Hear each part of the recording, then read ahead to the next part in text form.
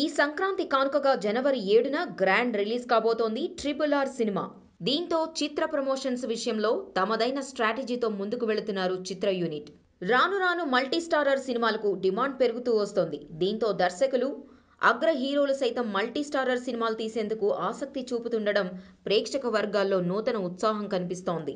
ఈ క్రమంలోనే young tiger NTR mega power star Ram Charan హీరోలుగా రాజమౌళి దర్శకత్వంలో రూపొందిన భారీ చిత్రం ట్రిపుల్ ఆర్.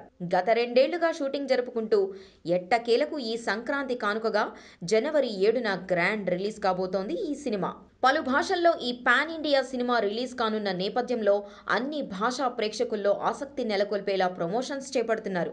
ముంబై చెన్నై హైదరాబాద్ లాంటి నగరాల్లో ప్రెస్ మీట్స్ నిర్వహిస్తూ ట్రిపుల్ ఆర్ విశేషాలతో హైప్ పెంచేస్తున్నారు.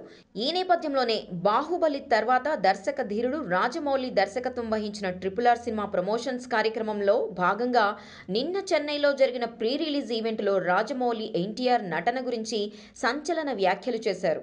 పాత్ర ప్రకారం ఇలా నడవాలి ఇలా మాట్లాడాలి అని దర్శకుడిగా తాను ఏమనుకుంటాడో అలా కెమెరా పెట్టగానే సునాయాసంగా చేసుకుని పోయే ఏకైక నటుడు ఎన్టీఆర్ అని.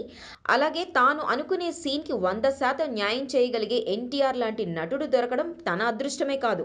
తెలుగు సినిమా ఇండస్ట్రీ అదృష్టం మాత్రమే కాదు.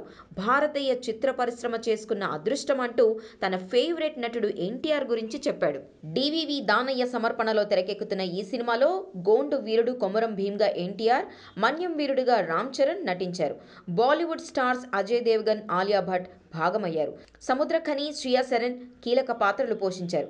హాలీవుడ్ నుంచి Olivia Morris Ray Stevenson Alison Judy కీలక పాత్రల్లో కనిపించనున్నారు. ట్రిపుల్ ఆర్ మూవీ కోసం యావత్ భారతదేశం ఆసక్తిగా ఎదురుచూస్తోంది.